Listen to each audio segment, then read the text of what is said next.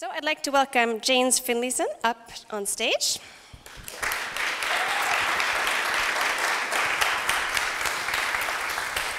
So James, you are the head of innovation, which is, by the way, a really cool title at Verve Search.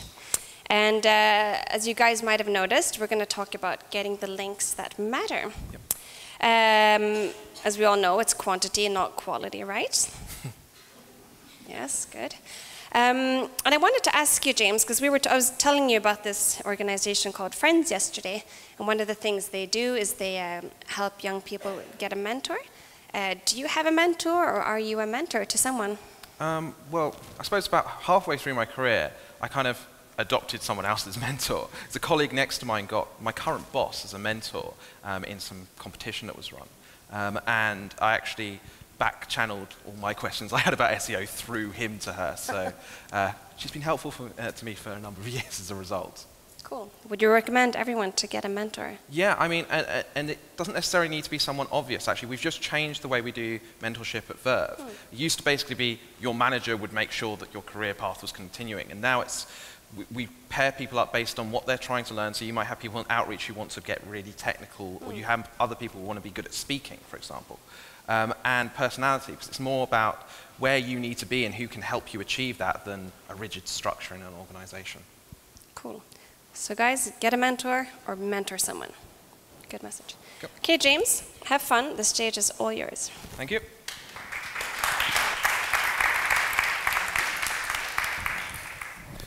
Hello, I'm James Finlayson. I'm the head of innovation at Verve Search, and I'm going to start with an apology and a confession. Um, so first, the apology. There's not a single Star Wars reference in any of my slides. I'm really sorry. I missed a memo. Uh, uh, and the confession. So I'm supposed to be speaking today about how to get links from these places. I basically can't pronounce most of these places. Whenever I do, this is what happens at Verve. Yeah. Um, so instead, I'm going to tell you about my mother-in-law. Now, bear with me with this, okay?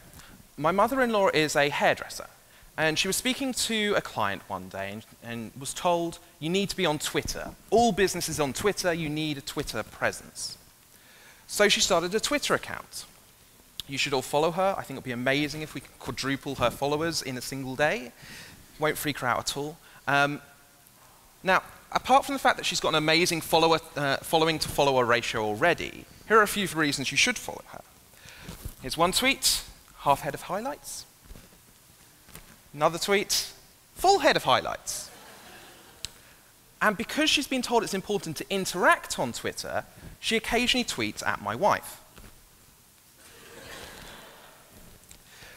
there are 328 million micro publishers on Twitter. If Twitter was a country, it would be the size of the US. My mother-in-law is also thinking of starting a WordPress blog. And if she does and she sends out her first blog post, that blog post will be one of 37 million blog posts on WordPress.com that went live that month alone. To put it in other words, if we printed out all those blog posts, every month and a half we could fill the shelves of Malmo Library just with blog posts from WordPress.com. There are 7.6 billion people in the world. There are 400 billion stars in the sky. And as best we can count, there are 900 billion websites. That's over 100 websites for every man, woman, and child alive. But think about the websites you've been on this month. Think about the websites you were on last month. The average person actually only visits 89 websites a month. If you were to do that every single month of your life, by the end of your life, you would have visited 0.00001% of the internet. We think we know the internet. Most of us have never seen almost any of it. That percentage is like telling everyone, I'm going out to see the world, and then you never leave Malmo. In fact, it's like two thirds of Malmo relative to the rest of the world. But we think we know it. And that's a problem, right? Because if you are a micro publisher like my mother in law, you can chuck out as many tweets as you want, but most of it will never be read. Most websites, and if you're a brand and you're trying to push content out to those websites, most of it will never be read or will be read by such a tiny audience that it just doesn't matter. So, what do we do? Well, let's go back to those 89 websites a month. It's not random, those websites you go to. It's not a different set of 89 websites every single month. In fact, if you think about the websites you've been to this month and the websites you've been to last month, they're mostly going to be the same sites, right? And despite us thinking that the world is becoming into, it's turning into more and more tribes and we're tearing apart, most people go to the same 89 websites a month.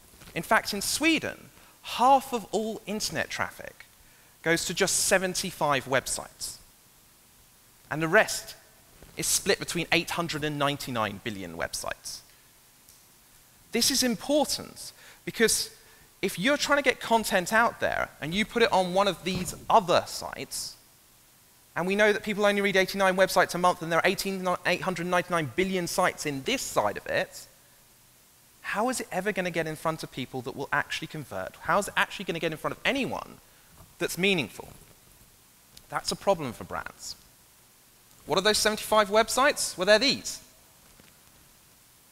I won't ask you who's been on all of them this month, um, because there are some that split between brands and publishers, and amongst the companies in that list, there are some that you probably wouldn't want to get coverage on. I'm guessing if I turned around to my mother-in-law and said, guess what, I've got you a link on Pornhub, I'm not getting seconds at pudding anymore. It's probably a good thing, actually. Um, so let's just talk about the publishers in that list. Oh, by the way, quick trick. Frederick's in the room. If you want a link from IKEA, buy him beer. I'm doing that tonight. So let's just talk about the publishers. These become the most important links in Sweden because these are the only publishers that you're guaranteed if you get on these, that your content will get in, in front of a significant part of the Swedish population, will actually get viewed. Because if no one sees what you're pushing out there, why the heck does it matter? Now, you might think, so far, what I've said is basically do PR. It's not. Because Google worked this out themselves a long time ago and said this split between companies and publishers.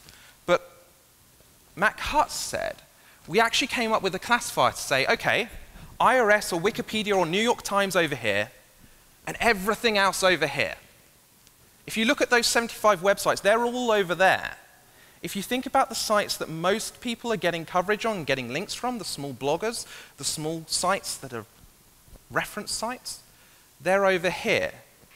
Google understands the difference between these 75 massively important sites and their ilk, and the sites that actually most of us have been targeting over the last few years.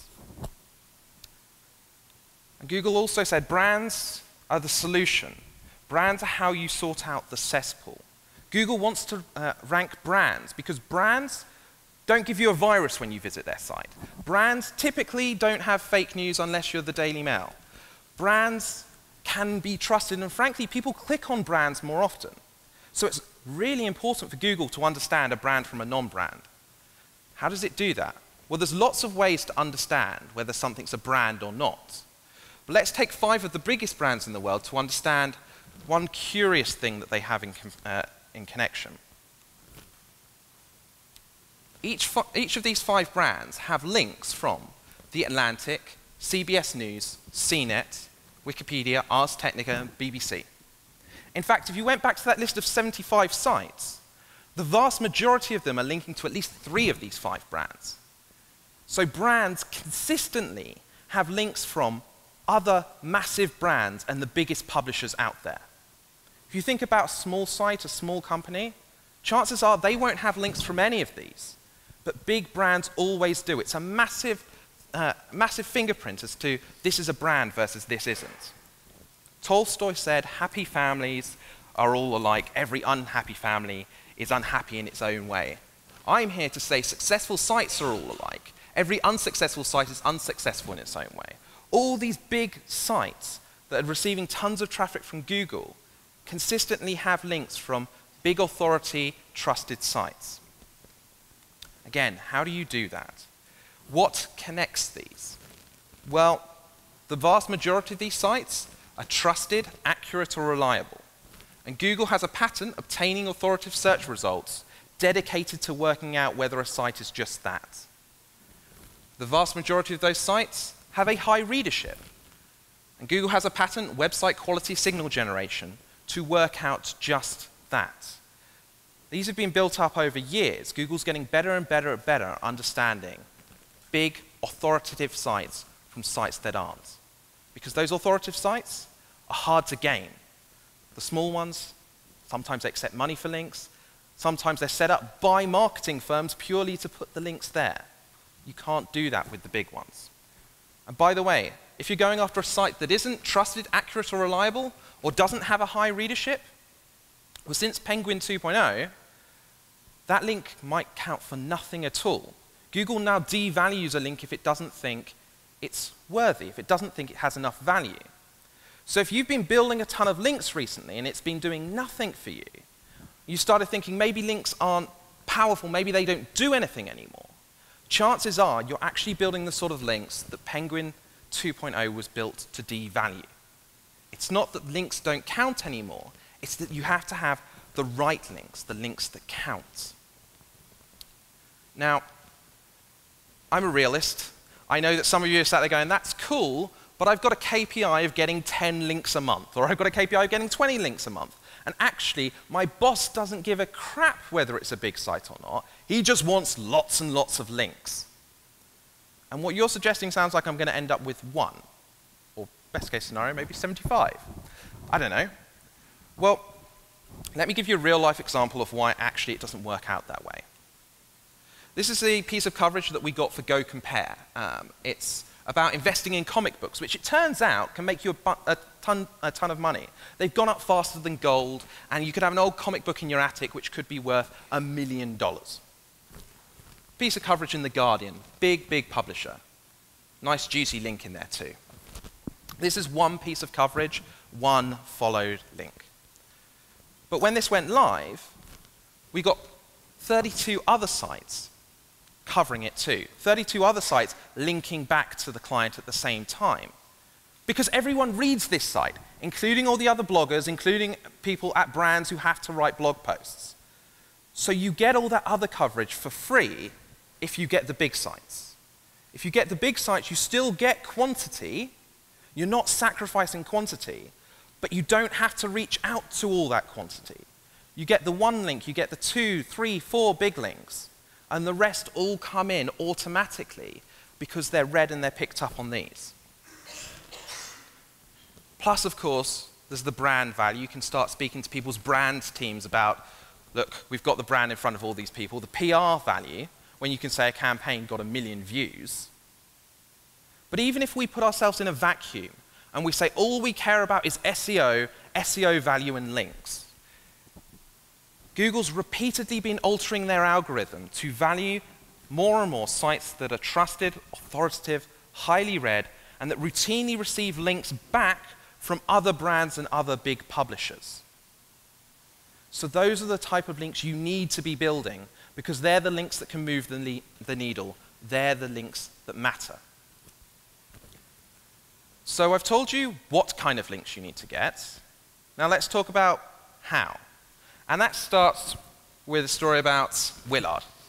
Willard is a friend I've known for years, but he's also a freelance journalist. He's written for The Telegraph, he's written for The Times, he's written for most big newspapers in Britain. And I met up with him the other day and I said, Willard, how many emails do you receive a day? And he looked at me and he said, a shitload. But when I asked him to actually check, he found that he received 800 emails a day. You can't read 800 emails a day. And if you're working at a big publisher, you'll be required to push out 15 stories a day. Gone are the days of working for two months on an investigative journalism piece. Most journalists are required nowadays, as they're relatively junior, to sit there and churn out content because they need views on the website, they need engagement on the website, because that pays the bills because they get more ad, uh, ad views. So if you're required to chuck out 15 pieces of content a day, meanwhile your inbox is spilling over with 800 emails a day, how the heck do you make that choice about what you publish? And as a brand, how do you get that golden ticket of being in the 2% that a journalist is going to write about? For us, it comes back to very old school things. So we talk about thinking like a 50s ad exec and executing like a geek. That was a fun day at work, dress up. Um, it comes back to actually something that Dan Heath talks about in Made to Stick, which is making sure that the content you're creating is, uh, has the success framework, that it's simple, unexpected, concrete, credible, emotional stories, and because we're online, we add a, a second S, also it makes it spell it correctly. Big problem I had with Dan Heath's work the whole way through. Uh, we add in shareable, because that gets you variety, that gets things moving. Let's talk about each in turn. Simple. Uh, do we have any lawyers or former lawyers in the room? No, it's just going to be me that gets a kick out of this then. Okay, simple. Let me read this out. I give you all and uh, I give you all and singular my estate and interest, right, title, claim, and advantage of, and in that orange, with all its rind, skin, juice, pulp, and pips, and all right and advantage therein, with full power to bite, cut, suck, and otherwise eat the same, or give the same away as fully and effectively as I said, a, uh, as I either said A B, am now entitled to bite, cut, suck, or otherwise eats the same orange, or give the same away, with or without its rind, skin, juice, pulp, and pips anything herein before or herein after or in any other deed or deeds, instrument or instruments of, which, uh, of what nature or kind whatsoever, to the contrary in any wise notwithstanding. I can do that because I used to be a lawyer. Does anyone know what the hell that's saying? Yeah, you can have my orange, and by the way, you can do what the heck you want with it. I'm giving you this orange. That's all it says. If a journalist receives this, he will never ever understand what you're talking about. It's amazing the amount of press releases that I've read that are so complicated, that use so much marketing wank that you, the message is lost, right? All this is saying is, I'm giving you an orange.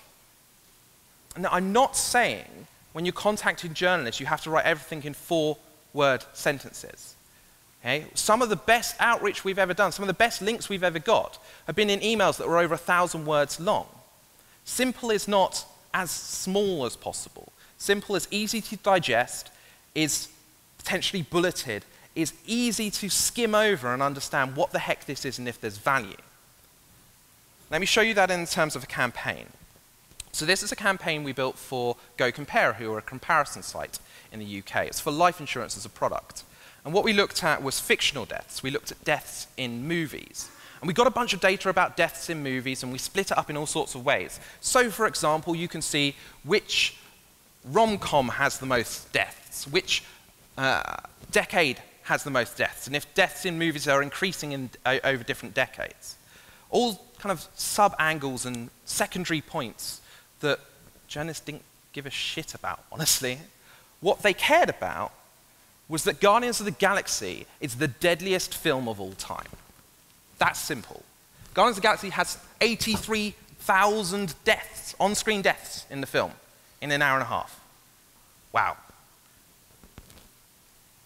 And when it got covered, it turned into Guardians of the Galaxy list of deadliest films with 83,000 fatalities. Simple. That's your headline. And actually, what you'll find as things move through publishers, as they get simpler and simpler, so this is the director of Guardians of the Galaxy, James Gunn, tweeting it. And by the time he was tweeting it, it turns into Guardians of the Galaxy is now the deadliest film in movie history. Bam. Nice and simple, nice and concrete. You have to be thinking about what the headline is and how simply that can be corresponded to the most basic denominator, uh, no, denominator because the journalists will not have time to craft that story. They effectively need to be given it on a platter this is what you need to say to be impactful. And that is done when it's concrete. And when you do that, I mean, this campaign got 620 pieces of coverage on CBS, Digital Spy, The Guardian, AOL, A NME, ABC. And that was mostly in a week that that went around because it was so simple. But not just because it was so simple, right? It was also the second letter, it was unexpected. Now, let me let you into a little secret with this campaign. So for the longest time when we were running the data, Dracula Untold, has anyone seen Dracula Untold? Yeah. Dracula Untold was the most deadly film of all time for about 75% of us working on this data. If anyone's seen the film, it's basically two hours of fighting and a massive battle. So we almost had a story which was a film which just features nothing but death is the deadliest film of all time. Yeah, okay. That's not unexpected, that's not a story. But PG 13 Disney film, 83,000 deaths, that's unexpected, suddenly that's a story. And that's a big part of why this went viral. Then you've got to be concrete. And concrete's about people's inability to understand maths, basically. So when you tell someone something's 100 calories, they don't get it. Or if they get it, what they do is they turn it into something in their mind. What they say is 100 uh, calories, that's a slice of bread. People understand the physicality of something, they never understand the numbers. Or they never understand the numbers enough to have an emotional resonance from it. So when I said to you that there were 37 million blog posts going live on WordPress.com, I also told you to contextualize it, to make it concrete, that you could fill Malmo library with them. If you don't make it concrete, then you're cutting off a big swathe of your audience who just do not have time to try to put that into something that makes sense for them. Or they will, and they'll totally muck it up, which can sometimes be interesting, but mostly will end up meaning no coverage. Let's talk about credibility. So I said that a journalist is receiving 800 emails a day, they've got to get 15 articles out. The brutal facts are that journalists play fast and loose with this. They will not check, and I've seen this from so many pieces of coverage that have gone live, they will not check the facts that you're giving them unless they're already really suspect about them. But they equally will not go live with something unless they have a feeling that it is credible. And when you've got brands coming out and saying, for example, this is the deadliest film of all time, what the heck does the brand know about that? Uh, we did another campaign for uh, Go Compare called Coining It In, where we found coins with misprints. So we said, if you find this coin in your handbag, then actually it could be worth a thousand pounds this other coin could be worth £10,000. These coins that you just have lying around that actually have one little thing wrong with it that, that make them super valuable. But what does Go Compare a comparison site know about rare coins? Nothing. We had no credibility on the subject. So what did we do? Well, we turned around to an organization called Chards. They are coin experts. Like if you want to buy rare coins, you go to Chards in the UK. And we turned around to them and said, look, we're doing this campaign. Go Compare are basically paying for it, but we'll make sure that you're referenced if you help us with the data, if we're allowed to say that you helped us put together the facts in this. And they said, yeah, this sounds like a great deal for us. We get a bunch of free PR, we get some links out of it too, and all we have to do is spend an hour checking through a list that you've already put together, give some feedback. So they did that, and then when we went to journalists, we said, Go Compare have put this together in association with Coin Experts Chards. The extra few words gives it that credibility that means that even if the data was massively wrong, and actually one journalist misunderstood something and we had to go back and tell her to fix it in an article, they're never going to check because that credibility is there. That campaign went on to get 65 pieces of coverage. These big sites all believed in the credibility of the campaign because we were collaborating. Um, got viewed over 400,000 times and has been shared 20,000 times. Shareable. So I've skipped over emotional um, because people get that, right? But people get confused with shareable because you can make the best campaign in the world, but if people don't share it, then it's so much harder to get that traction with it. And people share things basically for one reason, and that's to make themselves look good. They want to make themselves look charitable. They want to make themselves look intelligent. They want to make themselves look funny. But if you go, go home and check your Facebook feed or check Twitter, it's depressing how much you can basically say has been shared because it makes that person in some way look good. I'm going to give you two, uh, two example campaigns that we did for Expedia. So World of Music is a quiz that's all about how bands aren't really from where they sound like they're from. So, for example, um, where are Houston from? Sweden. Where are I'm from Barcelona from? Also Sweden. Seems Swedes are particularly bad at naming themselves after random places. So it turns out tons of bands are from all over the place and you never even realize it. And this is what that quiz does. It asks you to guess where a band's from and find out actually they're really from halfway across the world. This second quiz is an accent map. So we show you, so we play an accent in, from the UK and you have to guess on the map where that accent's from. This is really hard. Like seriously, unless our, our resident music uh, guy in the office sucked at this because they're all obscure bands because they've got to have a, name, a location in the name.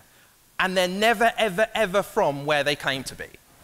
This, as long as you spent like more than two days in the UK, you should be pretty good at. Like, accents are relatively broad geographical areas, and therefore it's pretty easy to get top marks at this. They both did around about equally well in terms of links, but when we're talking about shareability, this one killed that one. No one wanted to share that they got 1 out of 10.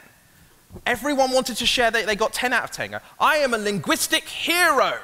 Not that they cared about linguistic uh, uh, stuff, not that they cared about accents 10 minutes beforehand, but they got 10 out of 10 right. They look brilliant. They're sharing that one. I'm not saying create quizzes because people share quizzes. I'm saying people share things to make themselves look good. So when you create a campaign, think, what does sharing this do to that person? Does it embarrass them because it's about a particular subject? Does it make them potentially look awful in some sort of light? How can you tweak, tweak it so that they're like, ah, yeah, cool. That's, that's something really shareable. Let's put it all together in a campaign that we did uh, last year about Malmo. So we work with Expedia in Sweden, and um, we wanted to do something about Malmo, and we were told about Malmöhus slot, Malmö Castle. And we're told about its history, and it's got all these things going on with it, and how it used to be a, a prison, and now, uh, now you can go around it. And effectively, what I kept on hearing was you just have to experience it. You just have to go there, otherwise, I can't explain to you why it's so cool. And I said, that's really unhelpful. We're trying to do something online. I can't tell people, like, free tickets to Malmo and then you'll understand. No. So what we did was we sent a photographer there, and we did an internal street view of the castle. But it's not just internal street view. As you enter rooms, a voice starts talking, telling you what you're seeing, as if you've got an audio guide with you. And you can click on paintings, and you can see the large version of them. And you can read about them as if you were just peering into that little note that's next to them. We made it so it was like you were really there. We gave you that experience, that virtual experience of exploring the castle. And of course, we worked with the castle to do it because I think they think we're crazy if we turn up with a camera crew and said, hey, we want two visitor passes. A result, SVT sent their film crew and wanted to interview us, not just write about it online, they wanted to do a piece to go on the, new, the local news about it. They showed the app. We sent out our outreach person out to Malmo to be interviewed. We also gave them access to the museum curator. The museum was so pumped they put on a um, special night for it and pulled in a load of contacts from themselves, which is great because we've got them now outreaching for us effectively too. But they're excited because it's basically us saying, you should go here, right? We're doing free marketing for them again. But of course, we always say you should go there sponsored by Expedia.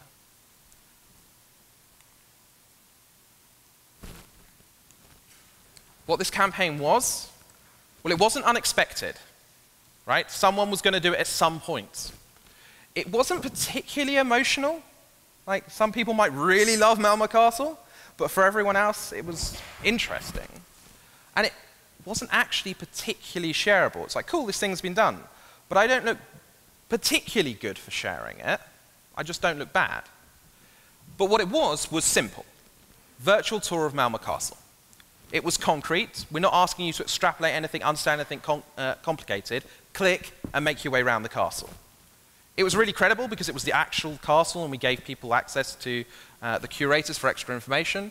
And there are a bunch of stories already at Malmo Castle that you could explore by going through the piece and that journalists could write up as part of their article about it.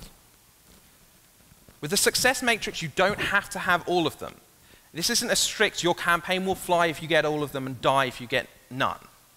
But it's meant to be a framework for you so you can critically analyze campaigns and understand what their strengths are, what their weaknesses are, and based on that, how well or not they're likely to do. We put this at the ideation phase. So when we've got the ideas originally, we run them all through here and go, you know what? This one's kicking ass on this and this and this. What can we add in to make it more shareable? What can we add in to make it more emotional? That campaign got 86 links uh, from places like Visit Sweden, which for Expedia is huge, right, getting the National Tourist Board to link to you. Um, SVT, Expressen, um, all across the Nordics. Also did quite well in, um, in, uh, in, England and America, actually, um, because we, we sold it in as like Tourism 2.0, the future of tourism. Now you can go abroad without actually ever going abroad. So we got some uh, coverage all around the world for the piece, too.